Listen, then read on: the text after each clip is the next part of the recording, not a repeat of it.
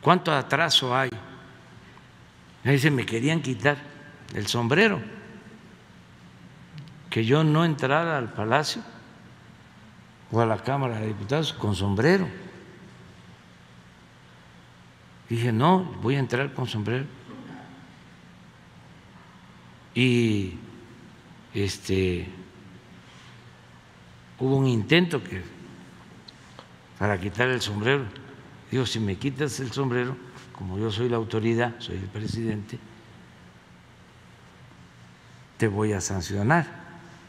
Y dice, ya no se atrevieron. ¿Pero qué cree que me hacen?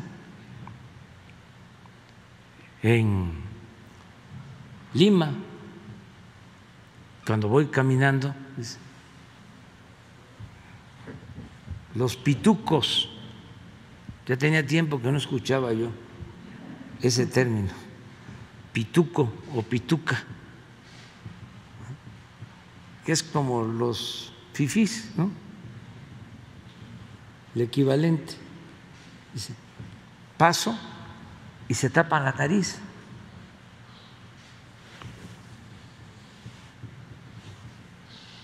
Le digo, de eso no te preocupes.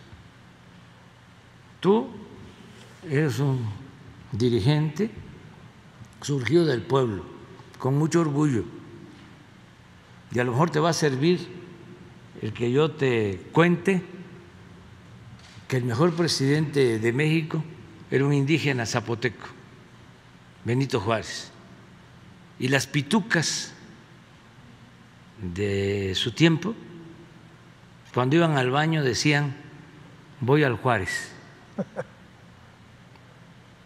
Todo eso lo padeció el mejor presidente que ha habido en la historia de nuestro país.